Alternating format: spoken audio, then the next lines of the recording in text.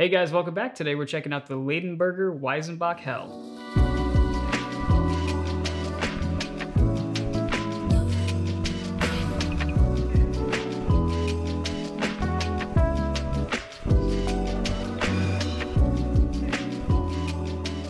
This beer is a combo, kind of a, a Weizenbock is like a is a Bock and a Weizen Yeah, and a wheat beer. and a wheat beer.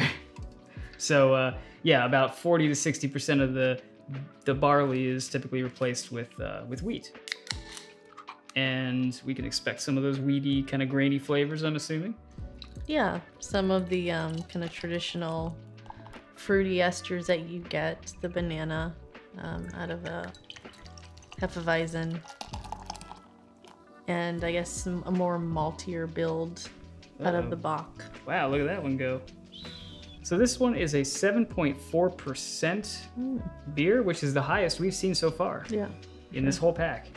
Um, again, with the very basic and generic uh, sticker label there, it's a white can with a blue sticker. but it does look cool. I don't know. It says it's honored as the world's best. It does. Honored as one of the world's best Weizenbock beers.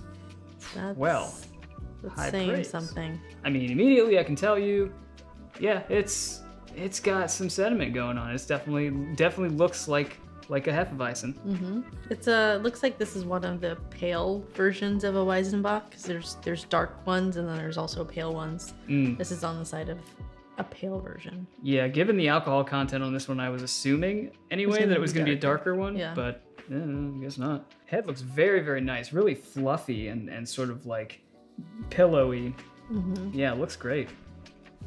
Really nice lacing around the glass. Like that is just crazy looking. Dense bubbles, very pretty. Yeah, this is a gorgeous looking beer. All right, well on the nose, let's check it. Yeah. Oh yeah, yeah. Lots, That's lots of banana. wow. This smells. This smells just like a Hefeweizen. It really does. That's that's delicious smelling. Wow. Mhm. Ooh, I hope it tastes just as good as it smells right now. Oh, that would be a, a welcome addition Yeah. to the pack for sure. My God, yeah, you're getting a little bit of that clove, a little bit of that graininess in the background from the from the wheat and the malt. Um, Not as much malt, but I get a it's little bit. expected since it's a pale. If you sniff past Yeah. the the the estery quality of the yeast Yeah, it's in the back. It's in the back. It's there. Yeah, it's just not as prevalent, I guess. Mm, yeah, it smells delicious. Let's go ahead and dive in. I hope this tastes like banana runs. Mm. Oh yeah, that's good. Okay. That's good. Okay, that that little quote there is uh, actually might be correct. Might be right. yeah, yeah. This is good. This is really good. There's there's like a, a hint of roastiness back there, just a hint. Just at the very end. It's it's basically what we're getting here is a hefeweizen with that little hint of roasty malt. That's that's what this is. It finishes. Uh, it, it's not clean. It's got this lingering sort of um, There's some spice notes in there. spiciness to it. Yeah. Yeah.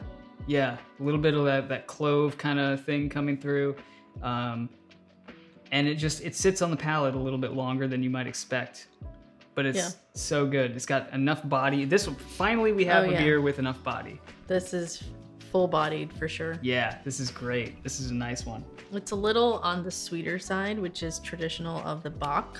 So I'm getting that Bock essence Mm. essentially. Yeah, that combined with the roastiness of it, right in the back, just it's just plays off the banana really well. Well, yeah, this one's a winner for sure. Um, I think what we're gonna do actually is skip a bunch of these beers because they're all kind of. We don't want to sound like broken records and give you the same information. I mean, there's like what six or seven more Helles lagers in there, and like a couple lagers and like some other stuff that we've kind of already done. And at risk of sounding like boring about it. We're just going to pick the most interesting ones, one of which being this one, and we're just going to cover those uh, and and close out this pack once and for all. Because I mean, they did give us a lot of the same kind of beer, you know. Yeah, And I feel Yeah. like it's kind of we're kind of we're not going to waste you guys' time and waste our time filming it and all that if it's just going to be the same the same story every time. You know what I mean? So. Well, that does it from us. If you liked what you saw, please hit the like and subscribe buttons. And until next time, stay crafty. Cheers.